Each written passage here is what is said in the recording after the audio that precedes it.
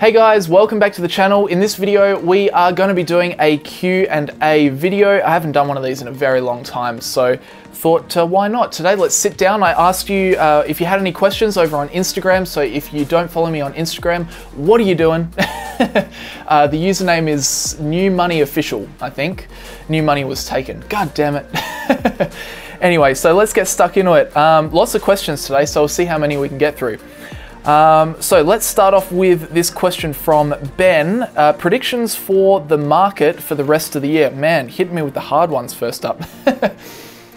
predictions for the stock markets. Well, I think if typically I, I just like to look over in, in America because that's where I do a lot of my investing.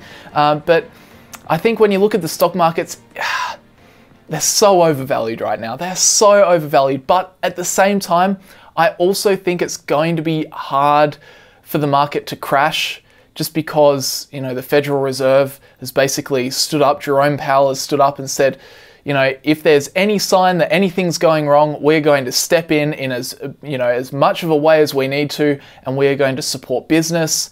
We're going to support the economy. So, like obviously when we talk about the stock market like i could have said that and then you know the stock market could have crashed by the time this video comes out when it comes to the stock market in the short term no one knows. It, it's impossible to predict. So we could see a crash. Um, but when I think about, you know, just business, yes, there have been a lot of businesses that have been impacted throughout this year. However, it seems like, especially with the US, they're very much opening up, so things are kind of getting back to normal. Uh, business activities have resumed, and with the Fed standing there saying, We got you back, we got you back, we got you back. I don't know. I just feel like it's going to be I, I would like to see stocks be a lot cheaper, at least come down to fair value, please. but in reality, uh, I just can't see it happening. I just can't see it happening. But anyway, that's just a prediction. Take that for what it's worth. Um, but yeah, who knows? That's the thing with the stock market. In the short term, who knows? I could be totally wrong. We could see the stock market crash tomorrow. Um, anyway, okay, moving on to the next question from Jack. Uh, Jack asks, best Australian brokerage options. I think overall, like, I haven't used a whole heap of brokers, but from my personal experience, I mean, if you're already banking with one of the big four banks, then chances are it's going to be relatively cheap for you to just do your investing with that same big bank. Like, if you're with CommBank, you can go with CommSec. If you're with NAB, you can do NAB Trade, that sort of stuff. Um, but if you're looking for other brokers, like personally, I've used CMC Markets before. They've been great. I think they're like $11 brokerage. I've I've had no issues. Um, but the one that always pops up in comments and whatever is SelfWealth. A lot of you guys are using SelfWealth, and from what I can gauge from all of the reviews and the feedback and the, the conversations I have, um, just with people generally, is that people really like SelfWealth and $9.50 trades as well. So it's pretty cheap, at least it's cheap for Australia, I suppose. So yeah, they're probably the ones that I would look at. CMC, you know, uh, SelfWealth. There are heaps of options out there, but maybe those two, um, or just whoever you bank with as well. So that's the next question. Uh, third question Do you like NDQ ETF? NDQ is an ETF, an Australian listed ETF that tracks the NASDAQ 100, so the 100 largest uh, companies on the NASDAQ. Um, so that's basically just the American tech companies, like most of the big tech companies are on the NASDAQ. And for this ETF, I actually really like it. Like it's one of my favorites, not gonna lie, because a lot of my interests are in these US companies, these technology based companies. That's obviously just kind of my circle of competence and my interests. So, although, like, although it may be, say, horrifically overvalued, um, in terms of an ETF, I actually really like it because it's got, you know, the Facebooks, it's got the Amazons, it's got the Tesla, you know, all of those different stocks, it's got them. So, um, I actually, yeah, I actually really like NDQ. It's one of my favorites. Um, if you if you have CommSec Pocket, if you have that app, then that is the ETF that you are investing in if you pick the tech savvy option. So if you read about the tech savvy option, you'll find that it's actually the NDQ. That's the ETF. Um, okay, next question um, is Are you excited for Tesla Battery Day? Yes, I am. In fact, I'm recording this the day before Tesla Battery Day. Um, so by the time this video comes out, you guys will have seen everything that got announced at Battery Day. Oh, I don't know. but I think this is going to be amazing. I think it's going to be really something else. Uh, I think we're going to get um, we're going to see a very big master plan from Tesla as to how they're going to make their own batteries and how they're going to scale to that next level of battery production because we've known for a long time that that's really that's really been what's holding Tesla back has been uh, the battery production side of things. So yeah, I'm I'm really excited for Tesla Battery Day. That's to, from the time I'm recording this video. That's tomorrow. So I'm really excited. I'm going to be uh, watching along as much as I can tomorrow. Um, yeah, I'm, I'm really excited for it. Anyway, um, okay, moving on. What gear do you use when you're recording your YouTube videos? That is the next question. Um, so the camera that I'm recording on is a Canon EOS R. I think it's a great camera. Looks re pictures really, really sharp. Like I'm not a huge photography guy, but I really like the EOS R. And, uh, and then in terms of mic, I've just got this little lapel mic on. This is a Tascam DR10L, I think, if that means anything to anyone. DR10L, I'm pretty sure. Yep, DR10L. So there you go. Uh, this is a really nice mic. Um, I, I, really like it. It's got its own little recordy thingy, so you just stick it in your pocket and it goes with you. So it's real handy. Still wired. I decided to go the wired option as opposed to the wireless just because uh, I didn't want any potential connection interruptions and having to re-record videos or anything like that. And then basically what I do is I take the video file and the audio file and I use Adobe Premiere Pro and just match them up and then edit my videos. Uh, okay, so next question. I like this one. Is Port going all the way this year? Yes, we are. Go the power. Come on. I love it. Actually, funny little story.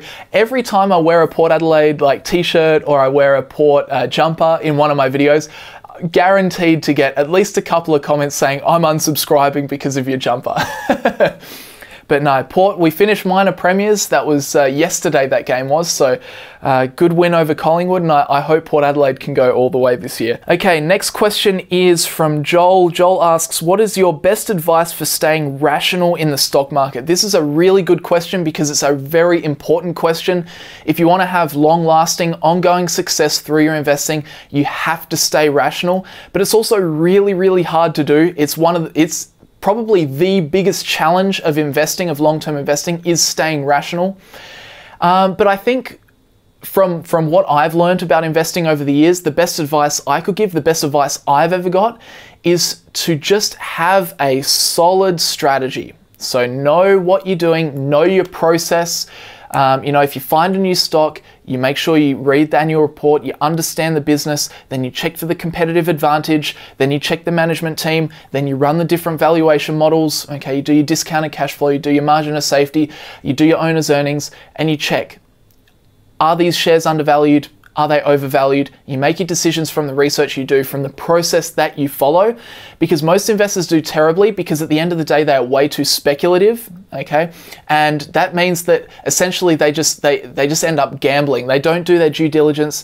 They do get very speculative. They don't stay rational, and that's where the mistakes creep in. That's where you go, "Oh yeah, look, Tesla Tesla's looking hot, you know, it's gone up 10x in the past year. It seems like it's not stopping." At the same time, Tesla currently has a PE ratio of about 1,100. So that's kind of my top tip to stay rational is to just have a strategy and stick to it. Um, okay, let's go into the next question here. Do you think the US election will have a big impact on the stock market? I mean, potentially. This is kind of just pure speculation. I mean, obviously the argument's been made by the media that, you know, the stock market's done so well because, you know, Donald Trump is the president of the United States and blah, blah, blah. And, you know, if Joe Biden gets in, then that's going to be the end of business as we know it and the stock market's going to crash. But at the end of the day, like, I don't know. I've got, I've got no idea. I mean, it's because it's been played up so much like that in the media. Maybe there will just be a kind of a psychological effect that if Biden wins, then maybe the stock market will go down. But uh, I, I don't think there's, I mean, I don't look at this stuff at the end of the day. That really doesn't influence my investing patterns at all because at the end of the day, I'm looking at individual businesses. So I'm thinking about, I'm not thinking about politics and the macro. I'm just thinking about, right, okay, um, pick a company, Facebook, for instance. Um, is Facebook, you know, doing well? Are their future growth prospects great? Are they undervalued right now? That, that's the sort of stuff that I'm looking for. You know, what's their cash flow? How much money are they going to return to me as an investor over the next 10 years? I'm not worried about, you know, who the president is at, at that specific time. So next question here is uh, from Annabelle asking, have you ordered your Tesla? no, I haven't. Oh my gosh. Oh my gosh, uh, there's there's such a long story about this. Like I'm gonna buy a Model 3 and it's probably gonna be a white Model 3 performance. I'm really sold on that car. The problem is like at the moment, I, here's here's my story, right? I said that I was gonna buy one when I hit 100,000 subscribers and now I've hit it and I still haven't bought one. But my reasoning is, right, so I, I need a place to put it. At the moment, I just live in a, a, townhouse and I've just got a carport which is basically backing onto the street. It's not enclosed, it's not locked, it's not anything. So I really just want somewhere to to put the Tesla when I buy it. So I know this is completely crazy, but one of the reasons that I'm currently looking to buy a house is so that I can have a house with a locked garage so that I can buy a Tesla. as crazy as that sounds, that's actually that's actually my thought process at the moment. But then there's the problem of trying to buy a house and uh, complicated because I have yeah, very complicated. I shouldn't get into it, but essentially, um, because I work for myself, because I run this YouTube channel, banks don't like lending money to people that work for themselves. And even though you know my income over the past year has been pretty decent from YouTube. Most banks take the average of the last two years of, of income from your from your uh, self-employed ventures. And because not last year but the year before I was only doing YouTube part-time because I was working full-time as a physio that obviously dragged down my my business income because I really wasn't spending too much time on it. So overall they take the average of the last two years and I can't get a massive loan. So that's uh, that's the issue that I'm working through so that I can get the house so I can have the garage so I can put my Tesla in it yeah, so that's where that's where I'm at at the moment. But it's definitely coming. It's definitely coming. I can promise you that, and I'm going to make a lot of videos about it uh, when when I get it. But anyway, okay, moving on to the next question. What is the best website to find economic moat numbers? economic moat numbers that I like to look at. So we're looking at revenue, we're looking at earnings per share, we're looking at equity, we're looking at free cash flow. You can find, like for instance, Yahoo Finance will, when you look at a company on Yahoo Finance, it'll take the last three or four years of those numbers so you can kind of look over time. Um, the, the Rule 1 toolbox, of course, that's where I learnt the Rule 1 method um, to, to look at those numbers to try and assess whether this company has a competitive advantage or not. Uh, Phil Town's actually made the Rule 1 toolbox so you can log in. Uh, I think you can make an account for free still for like a month or something. And you can have a look at your company and you can have a look at what their you know growth has been in earnings per share over the past 10 years on average and all those sort of numbers. But at the end of the day, um, I actually don't look at a particular website to find these numbers. At the end of the day, I like doing it manually because doing it all manually, going back into the financial reports, plotting it out in Excel, you know, 2011, 2012, 2013, and just putting in those numbers and working out what's been the average growth over time. You know, is it growing, you know, undisrupted. I like doing that manually because it makes me feel as though I have a much better understanding of where this company's come from and where it's going.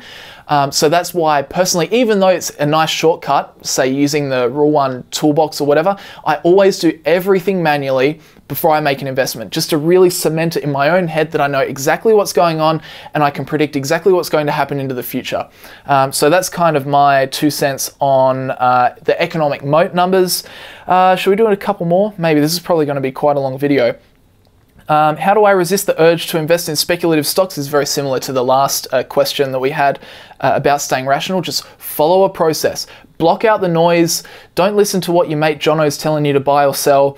Just block out the noise, stick to a strategy. All right, here's a question from Jacob. Jacob asks, What are your top three ETFs um, on the ASX? So, top three ETFs.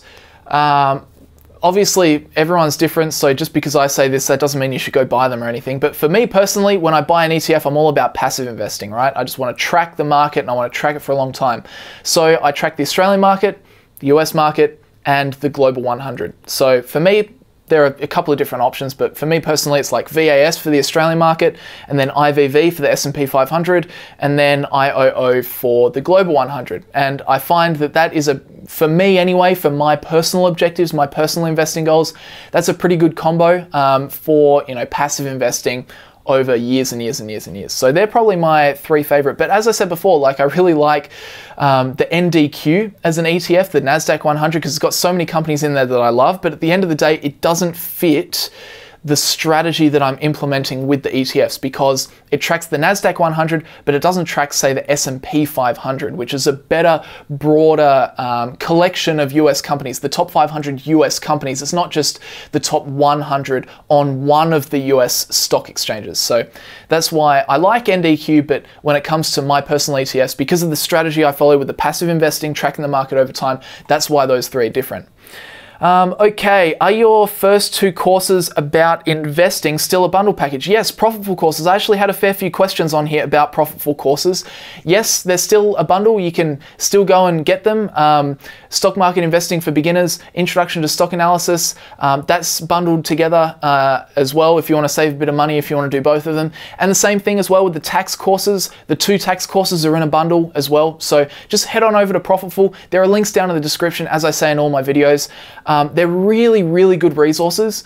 Um, that's the thing we're struggling with at the moment. We're struggling to get um, people to actually leave reviews because obviously, because we're a new kind of company, we've got some really, really good courses. Like I will stand up and defend those courses for days and days and days because they are really helpful. The two on investing are, are really in depth, and then the two on tax that are done by Scott, they are just unbelievably helpful. If you don't really know what you're doing when it comes to tax and you need to know tax on your investments, you know how the tax system works, if you run your own business, they're such good courses, but we need we need more people to understand that, you know, they're essentially that they're not a scam because how many how many courses do you see on the internet right now that are just complete rip-offs, just absolute rip-offs? They're complete scams and you know you buy it and then you'll go through some of the content you're like man i paid how much for this um, so we're trying to like one of the the the kind of I don't know mission statements behind Profitful is we want to try and combat that that stigma that you know uh, these investing courses are just complete scams. So we're trying to right that wrong, I suppose, but it's going to take time. So if you've done the Profitful courses and you enjoyed them, please like leave us a review. I don't know, a Google review, or you know send some feedback to me. There's an email down in the description, um, and and I don't know. We just need more people to to know that they're out there and they're they're actually pretty helpful. All right, let's do uh, one more question. Is it better to buy shares slowly, bit by bit, or is it better to save uh, big money and then buy once in a while? Okay, so is it better to buy shares slowly over time, or do you just save up and plonk it in all at once? Uh, again, comes down to your strategies. There's two thinkings here, right? You, you, there's two thought processes. If you invest very, very frequently, in small amounts, then you're going to have to pay a brokerage fee every single time. But then again, if you just save up for a couple of years and you've got, say, I don't know, 50 grand and you want to sink that into the market at that one time, then you're locked in at that one market price, whatever that price of the investment was at that specific point in time. So, say the stock market's gone, you know, flat and then it spikes up and then you save your 50 grand and then that's the time that you're going to invest. Well, you've plonked that 50 grand in when the stock market's really expensive. And then maybe in a couple of months, the stock market will crash back down. Um, so it could work like that. It also could work the opposite. If you had a whole bunch of money and the stock market crashes, then you could plonk it in and that could work out brilliantly for you. However, for me, there's a balancing act between the two. So for me personally, and I'm not saying you should follow this strategy because it's obviously very individual, but for me personally, I come back every three months and I just invest a little bit more into my passive investments because then over time, Every three months means I'm not getting killed with brokerage, right? Because if you've got $10 brokerage, you can save up a fair amount of money in three months to invest. So you're not getting killed with your brokerage costs, but it's also frequent enough that you're going to capture the almost the average of the market over time. So they're the two thought processes, they're the two things to think about as to whether you save up more money and plonk it in at one point or whether you invest smaller amounts more frequently. But take into account how much how much of a percentage of your investment amount is going to brokerage and try and keep that very, very low. But still, don't leave it so long that you're only investing, say, once every year or two, where you've got this whole bunch of money and then you're just at mercy to whatever the market price of that investment is on that day that you decide on. So, Anyway, guys, I think that's where I'll leave it. Thanks very much for submitting your questions. Um, I'm sorry I couldn't get to all of them, but maybe I'll do another Q&A video. In fact, I, th I think I'm going to try and do a Q&A video every month. Just unscripted, sit down and just have a chat to you guys and, and see what you guys are asking about. And, uh, and yeah, we can kind of just work through some questions like what we did today. Um, but anyway, guys, thanks very much for watching if you made it through all the way to the end. Um, and thanks very much for submitting your questions. Remember, follow me on Instagram, new.money.official. I'm pretty sure that is, I don't even know if that's my username, to be perfectly honest. Uh, I need to check it right now. Yep, new.money.official, because new.money was taken. Um, all right, well, let's finish it up there. Thanks very much for watching, guys. Uh, if you like this video, if you want to see more like this, please leave a like on the video it helps me, it really helps me understand kind of what content you guys are responding to. Um, I always look at how many views I get on different videos, how many likes, how many dislikes, and that just kind of helps me gauge what sort of content you guys uh, want to see. So if you want to see more Q&A videos, make sure you leave a like on the video and subscribe to the channel. A lot of the viewers on my channel, I can't believe it, but so many viewers that watch my videos aren't subscribed. It's crazy. It's like 70% of people aren't subscribed. So if you're one of those people, yep, that's you, that's you, then click the subscribe button, stick around. We've got plenty more content coming out on investing, on personal finance, on money. You know the deal. Thanks very much for watching, guys, and I'll see you all in the next video.